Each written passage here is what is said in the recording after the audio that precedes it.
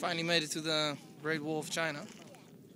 It's been a, it's been a, a, a very long wish of me to uh, to get here, and I made it. Met some friends along the way from Finland.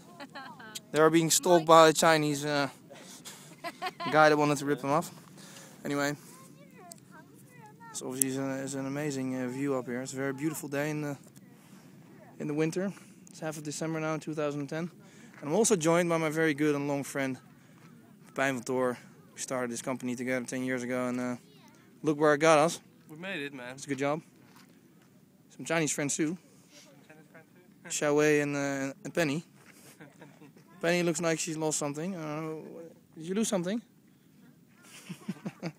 she doesn't speak English, but. And uh, wow, yeah, this is great, man. It's good, really good to be here. I'm happy.